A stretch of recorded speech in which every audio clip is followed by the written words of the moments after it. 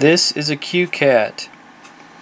It uh, was free from Radio Shack in the mid 90s and it would allow you to scan a product that had a barcode and go to that product's website or the Radio Shack website if it had a corresponding Radio Shack scanner or scan code or whatever barcode. But right now, since it's so old and I just got curious, I got it out and turns out that you're able to uh, decode the special barcode information that it has and turn it into a real barcode which is 12 digit uh, UPC which is standard I guess. I made a little script here in PHP on my little website that allows it to decode it and I can enter our price the barcode itself a quantity for that product information and update the database Alright, this is a CDR case I got for Christmas. It's got a little barcode there. See? Yeah, nice little barcode. Okay, I'm going to scan this with the CueCat. Just like, like that, yeah. Gotta get it straight when you do that crap.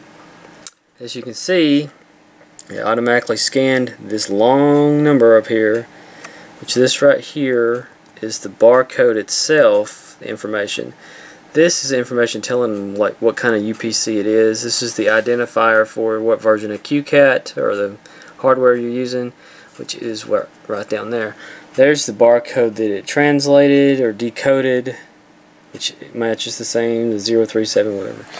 0347, the same thing, alright. And there's my little database that I have created the 1299 to CDR spindle, blah blah blah, whatever. Okay, another little demo.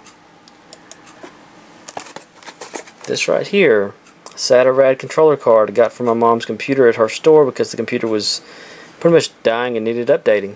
So, see it's got a little barcode right there that I'm going to enter, or I'm going to scan, but I'm going to show you as I scan it. I've already entered it before, but there goes a scan as you can see there it is. iCrest controller card quantity 1 barcode. Barcode 810154 blah blah blah. 810154 see? Isn't that cool? Alright. Uh, I've scanned a few things already today but uh, whatever. Alright I'm going to show you the actual code. I'm going to FileZilla because I use that for my little deal there. Going to go to my website, connect sci-fi-x.com. Okay, here's most of the code. I'm showing you this information because there's no way that you'd be able to log on to this MySQL, so whatever.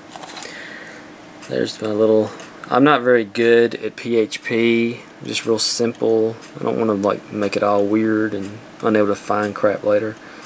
But that's most of the little code there that uh, allows for that to happen. Enters the data and retrieves the data and decodes the barcode stuff. It's pretty cool.